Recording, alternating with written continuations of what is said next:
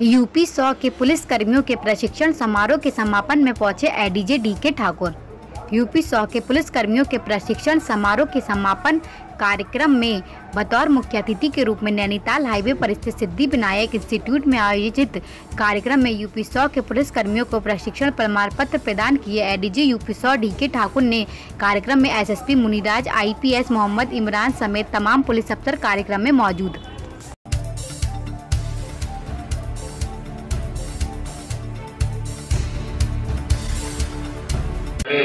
वो इसमें ट्रैफ़िक हमारी बात बता रहे थे, उसमें एक बात जोड़ना इसमें ट्रैफ़िक ने बहुत अच्छी बात कही है, जो इन्होंने काउंसलिंग शुरू करवाया है फैमिली डिस्प्यूट्स को लेकर के।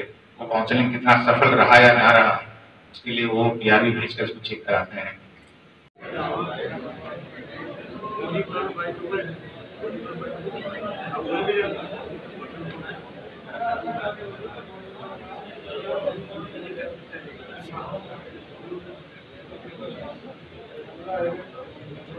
माइक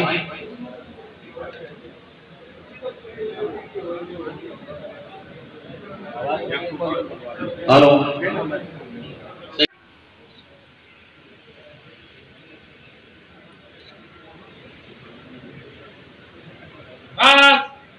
आराम से।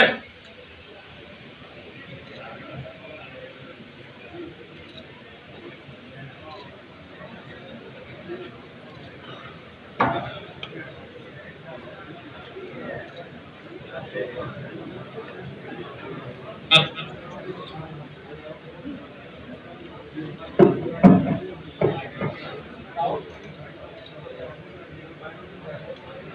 शांत रहें।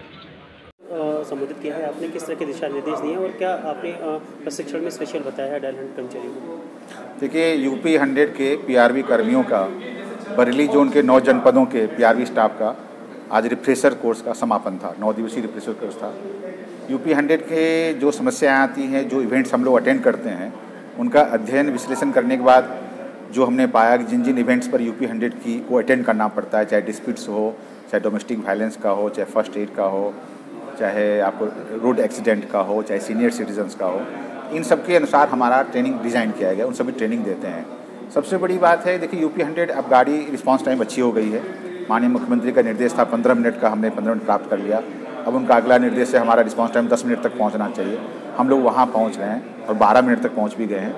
अब हमारा सबसे बड़ा अगला जो टारगेट है, वो टारगेट है कि हमारे यूपी हंड्रेड के जो कर्मी पहुँच रहे हैं मौके पर, वो कैसा व्यवहार कर रहे हैं, कैसा आचरण कर रहे हैं और जिस समस्या के समाधान के लिए मौके पर जा रहे हैं, उस समस्या किस बखूबी तरह समाधान कर पा रहे हैं। इसी को टारगेट करके हम लोग ट्रेनिंग दे रहे हैं और आज- आज हमने समापन में भी, उद्बोधन में यही अपने बी स्टाफ से अपेक्षा की है। अपना आचरण अच्छा रखें, व्यवहार अच्छा रखें और जनता की समस्याओं का त्वरित समाधान करें। एनजी न्यूज़ से जुड़े रहने के लिए चैनल को सब्सक्राइब करें और बेल आइकन को दबाना ना भूलें।